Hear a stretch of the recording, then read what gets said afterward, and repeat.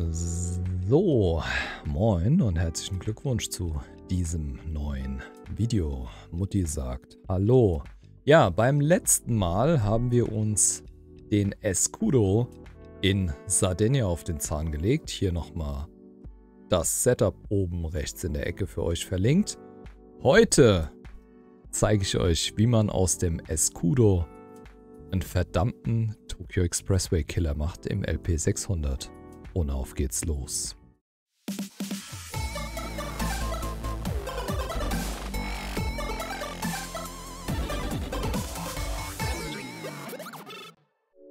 In diesem Sinne willkommen zurück zu Gran Turismo 7 und zu unserem Black Beauty im Hintergrund. Ja, das heutige Setup ist in Zusammenarbeit mit einem Zuschauer entstanden, der so nett war, dieses Setup in die Kommentare zu posten. Nach kürzerer Recherche habe ich auch rausgefunden, wo er das Setup her hat, aber leider ist mir der Name des YouTubers jetzt entfallen. Es kann, es, kann es sein, dass der Skullbusters oder so ähnlich heißt?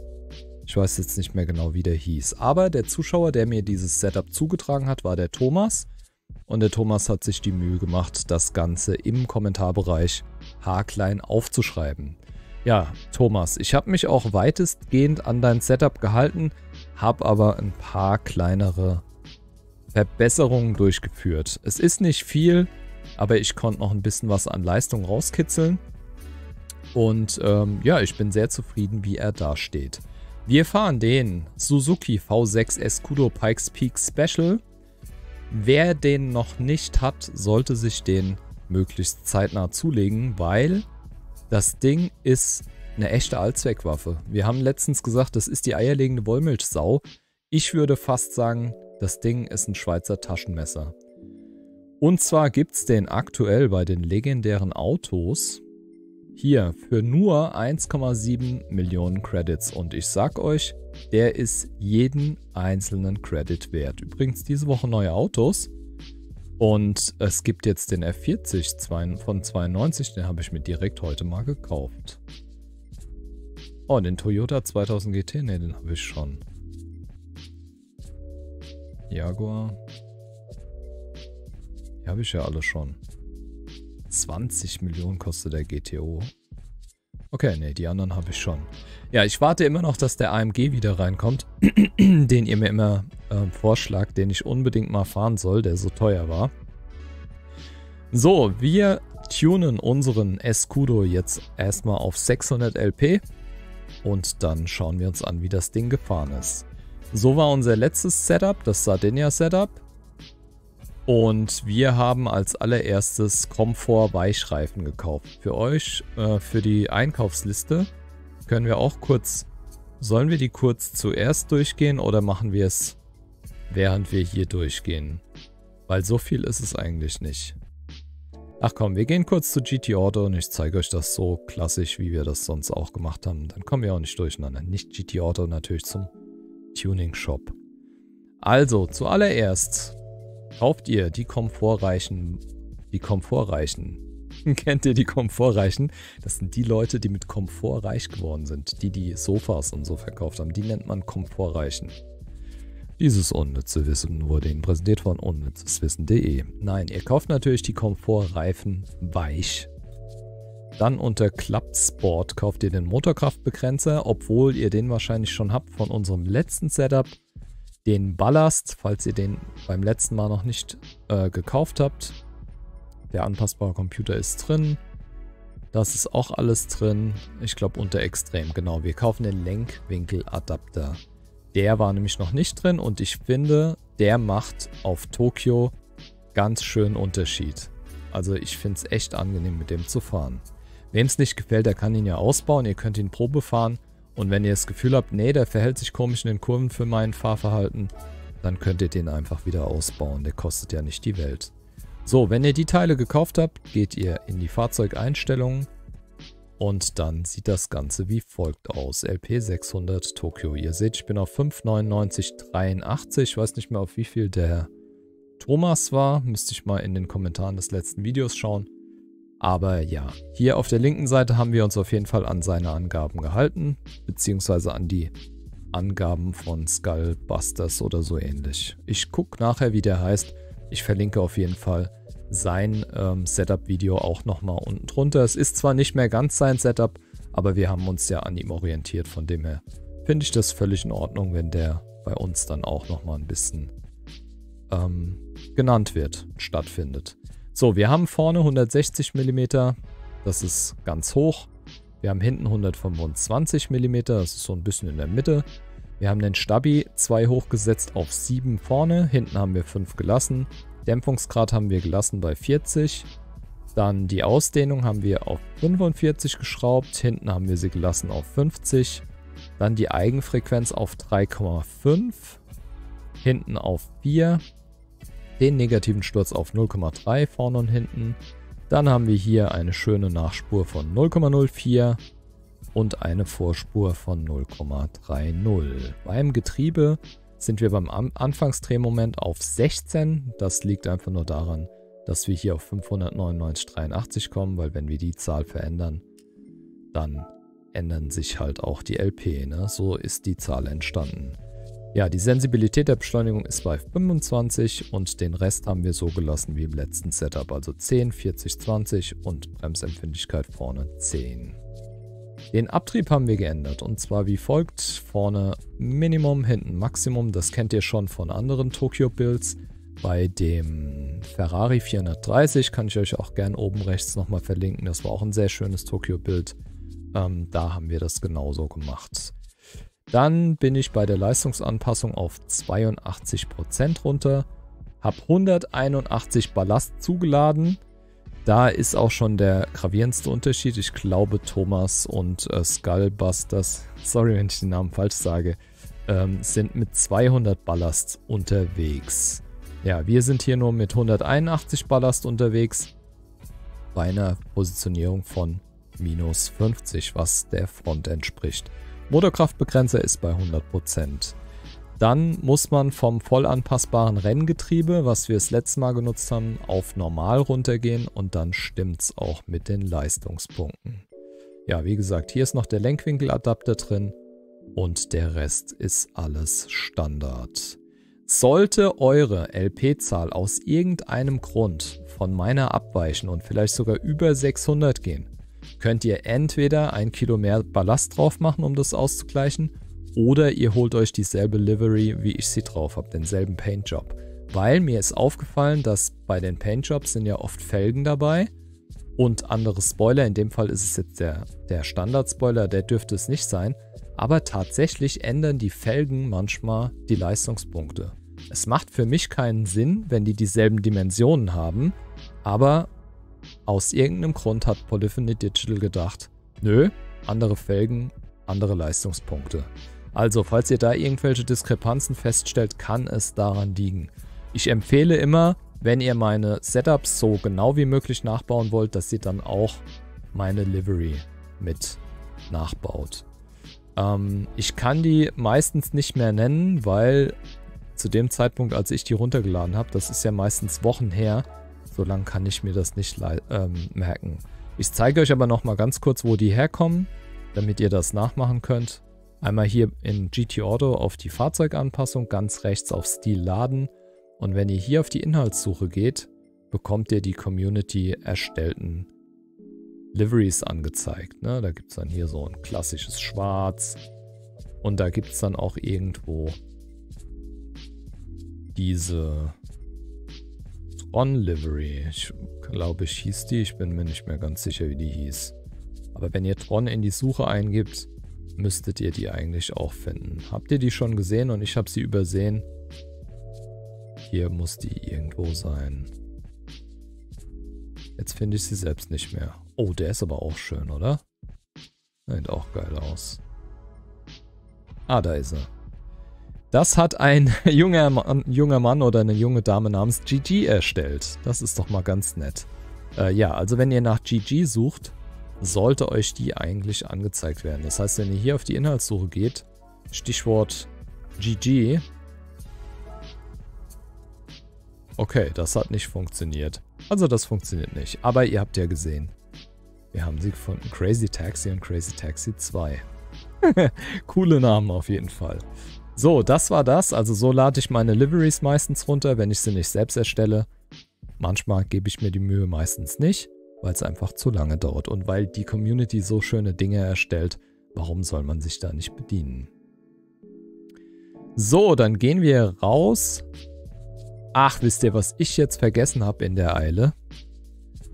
Ich habe vergessen, das Video zu erstellen. Aber das soll unser Nachteil nicht sein. Ich habe das Video gespeichert und wir gucken es uns einfach in Echtzeit an. Die vollen 29 Minuten. Natürlich nicht. Ja, da war ich noch am Einstellen. Das können wir natürlich überspringen.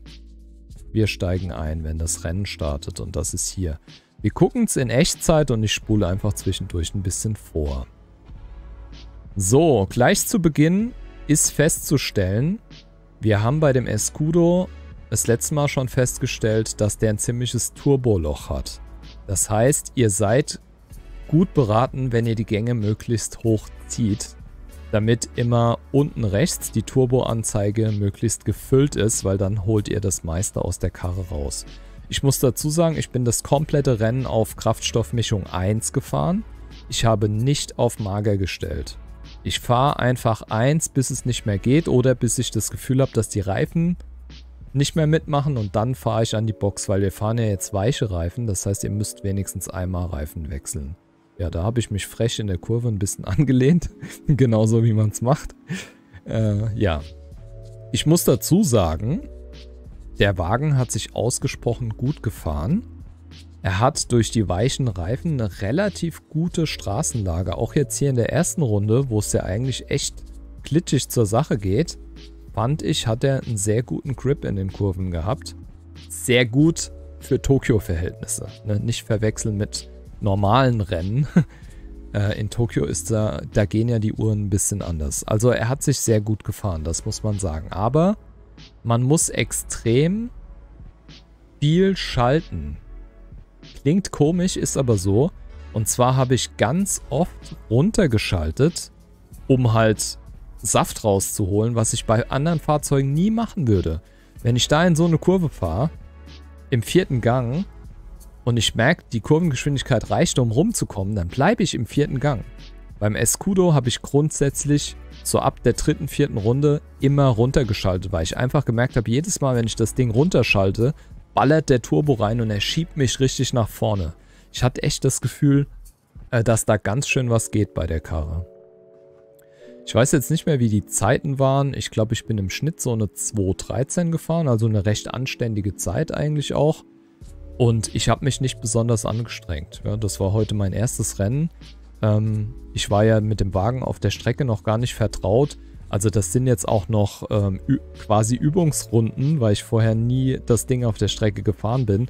In dem, in dem Setup. Ich denke, wenn man mit dem Setup firm ist, dann kann man da locker auch eine 211 rausfahren. Oder vielleicht sogar eine 210, wenn man richtig Gas gibt. Ja, und ihr seht schon wieder hier über meinem Kopf, der Gallo, der legt schon wieder ganz schöne Zeiten vor. Ich weiß nicht, wie der die erste Runde schafft, unter 230 zu fahren bei der Nässe. Das ist jedes Mal wieder beeindruckend. Das ist der, der den NSX fährt, der Italiener. So, ja. Erste Runde war wie gesagt recht entspannt, dafür, dass es so glatt war. Aber in der zweiten Runde ging es dann um einiges besser. Ich spule jetzt mal ein bisschen vor, sagen wir mal zur Hälfte. Schauen wir mal, wo wir da rauskommen. Da sind wir in Runde 6 und ich bin schon Erster. Da weiß ich aber nicht, ob ich jetzt Erster bin, weil alle an der Box waren, weil ich habe definitiv alle überholt. Also ich habe es geschafft, bevor die in die Box sind, Erster zu werden. Die Karre ist dafür locker schnell genug. Ja, da muss man sich ein bisschen dran gewöhnen. Mit dem normalen Getriebe ist halt bei 290 Schluss. Also gerade so die ersten 2, 3, 4 Runden seht ihr auf der Gerade dann, wie ähm, die gegnerischen Fahrzeuge im Rückspiegel immer größer werden. Lasst euch davon nicht beeindrucken. Zieht einfach euer Ding durch. In der nächsten Kurve habt ihr die wieder abgehängt. Das ist nur diese eine Gerade, weil das normale Getriebe halt bei 270 dicht macht. Ja, und ihr seht es hier unten neben mir. Die Reifen bauen schon ganz schön ab. Ähm, ich bin gefühlt eine Runde zu spät an die Box gegangen. Ihr seht, ich habe jetzt unten rechts noch ähm, 2,5 verbleibende Runden. Ich habe die zwei Runden auch noch gefahren und bin dann erst an die Box. Ich hätte eine Runde früher an die Box gehen sollen. Also sobald ihr merkt, oh, die Reifen äh, verlieren langsam echt an Grip, gerade wenn die, die Hinterreifen, das seht ihr jetzt nicht so gut, weil ich davor bin, die sind ja da unten. Die Hinterreifen sind jetzt schon so bei 60%. Also bei 50 sollte man die wechseln. Ihr müsst sowieso nur einmal an die Box, ob ihr jetzt in Runde 8, 9 oder in Runde 6 an die Box fahrt, ist völlig unerheblich, ja. Also theoretisch könnte man genau in der Hälfte nach 6 Runden in die Box auftanken, Reifen wechseln und dann kann man ja locker bis, bis 12 durchfahren. Das wäre, glaube ich, sogar das cleverste, weil dann hast du kontinuierlich denselben Grip in den ersten 6 Runden und in den zweiten 6 Runden. Also ich empfehle euch, geht so in der Runde 6, 7 an die Box. Das habe ich nicht gemacht. Ja, hier war ich mir nicht so ganz einig bei der Kehre. Die habe ich manchmal im ersten Gang gefahren und manchmal im zweiten. Wobei ich sagen muss, die Traktion in den ersten zwei, drei Gängen ist schon fies. Also der, der rutscht ganz schön weg, gerade wenn man auch in diese Kurve dann reingeht. Ähm, entweder ihr stellt die Traktionskontrolle ein bisschen hoch, versucht es dem ein bisschen entgegenzuwirken, dann verliert ihr aber wieder Beschleunigung. Oder ihr fahrt den, diese Kehre im zweiten Gang. Ähm, ich würde es im zweiten Gang fahren. Ja, hier bergab geht sogar bis 290. Ist mir vorhin gar nicht aufgefallen. Ja, wie gesagt, ich habe dann jetzt noch die achte Runde durchgeprügelt und bin dann erst vor der neunten Runde in die Box. Ich hätte anderthalb Runden früher oder zwei Runden früher reingehen sollen. Anderthalb, wie kann man denn eine halbe Runde? Ach, hört auf, der Papa erzählt wieder Mist. Ja, es ist spät am Sonntagabend. Wir haben schon 23.21 Uhr. Ich weiß gar nicht, ob es so clever ist, ähm, das Video heute Abend noch hochzuladen, weil dann kriege ich über Nacht wieder keine Klicks, weil alle im Bett sind. Ja, das, den Fehler habe ich äh, jetzt schon ein paar Mal gemacht. Aber kennt ihr das, wenn, wenn ihr was fertig habt, dann wollt ihr das auch raushauen. Also früher war es bei mir schon so, wenn ich irgendwie ein Bild für meine Eltern gemalt habe, was weiß ich, für Weihnachten oder so, dann wollte ich das denen unbedingt zeigen, weil ich ja so stolz drauf war. Und dann war das für mich so schwer, das einzupacken und dann erst an Weihnachten schenken zu können. Ich bin da nicht so geduldig. Und ungefähr so ist es jetzt mit dem Video. Betrachtet dieses Video als mein Weihnachtsgeschenk für euch. Der neue Tokyo Killer, Escudo. Ich weiß noch nicht, was es für einen Titel bekommt, aber irgend sowas Reißerisches, damit schön viel Klicks drauf kommen. Ähm, Clickbait, man kennt ihn. Nein, nein, wir halten das alles relativ ehrlich äh, mit den Titeln. Weil, ähm, ja, was sollen wir clickbaiten? Entweder die Leute kommen oder sie kommen nicht. Aber ich hätte schon gern viele Klicks, weil es einfach cool ist. So, ja, Runde 8. Wir sind weiterhin auf Platz 1. Wir haben 34 Sekunden Vorsprung vor dem bösen NSX, der mit einer Rundenzeit von 2 Minuten und 12 in Führung ist. Wir erinnern uns, als ich so schlecht gefahren bin, mit 218er Zeiten ist der 216er Zeiten gefahren. Ne? Also der passt sich immer schön an. Ihr seht es rechts am Bildrand. Ich würde sagen, ich bin im Schnitt meistens eine 213 gefahren. So, jetzt ist Zeit aufzutanken und Reifen zu wechseln. Natürlich habe ich nur die Komfort weich dabei, deswegen werden die auch wieder aufgezogen. Und ihr seht ja die Raute über der 0,9 die zeigt euch an, wie viel ihr noch zutanken müsst, um das Ding fertig zu fahren. Und ich habe einfach for good measure, wie der Franzose sagt, bis zur Hälfte getankt und habe dann abgebrochen. Zack. Und dann raus. Stoppdauer waren 13 Sekunden. Ich weiß nicht, wie lange wir insgesamt an der Box waren. Sagen wir mal ein bisschen über 20, obwohl das kann man ja hier ablesen. Genau, wir waren 25 Sekunden an der Box. Das heißt, unsere 34 Sekunden Vorsprung hätten sowieso auch gereicht. Oder 38 oder wie viel es waren. Komischerweise haben wir jetzt oben noch 35 Sekunden, 36, 37. Ich gehe mal davon aus, dass der Gallo eventuell an die Box gefahren ist. Nee.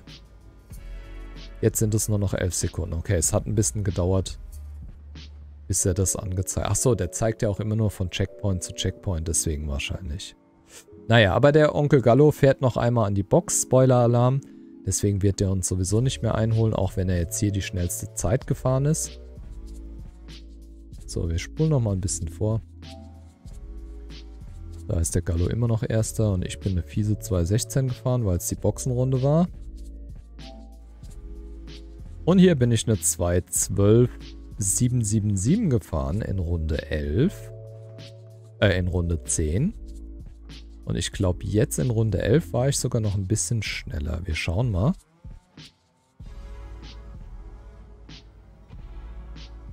Ah, 1,53,8 war zumindest meine beste Zwischenzeit an der Stelle.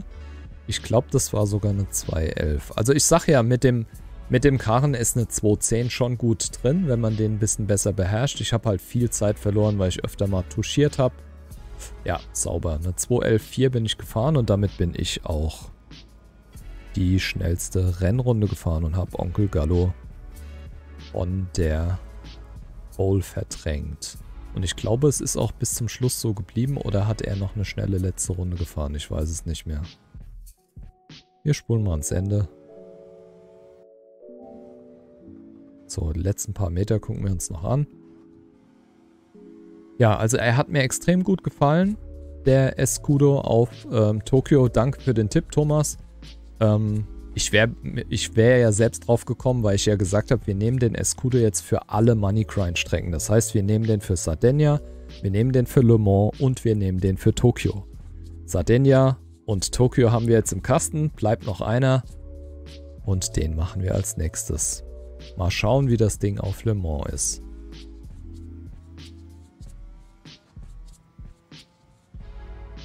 Wird wahrscheinlich abstinken, oder? Wegen den hohen LP. Naja, wir werden es sehen. Obwohl, ne, Mo ist ja 700, oder? War Sardinia das 800er Rennen? Ich bringe die immer durcheinander. Also das hier ist das 600er und da bin ich im Ziel. Ja, dann müsste doch Sardinia das 800er sein und Le Mans das 700er, richtig? Ist auch egal. Wir bauen auf jeden Fall ein und wir werden damit gewinnen. So, ja, da sehen wir es. Schnellste Renn Rennrunde Stroker Ace, das ist meine Wenigkeit mit 211,4. 27 Minuten Gesamtzeit und natürlich haben wir am Ende unsere Belohnung abgegriffen von 825.000 Credits. Ja, wunderbar. So, damit gehen wir zurück zu Gran Turismo und ich würde sagen, wir haben es auch schon wieder geschafft. 22 Minuten. Schade, 23 ist meine Glückszahl. Aber wenn ich jetzt noch ein bisschen laber, haben wir 23. Freunde der Sonne, ich würde sagen, falls ihr noch nicht, dann gerne äh, davon Gebrauch machen. Ansonsten hat mich gefreut, dass ihr dabei wart. Es war mir eine Ehre. Und ja, ich würde sagen, hoppala, ich verabscheue mich und reiße hier das Mikro ab. Bis zum nächsten Mal und weiterhin gute Fahrt. Machet Jod. Ich bin völlig raus gerade. Ich muss ins Bett. Aber vorher lade ich das noch hoch. In diesem Sinne. Wiederhauen und reingeschauen. Watcha!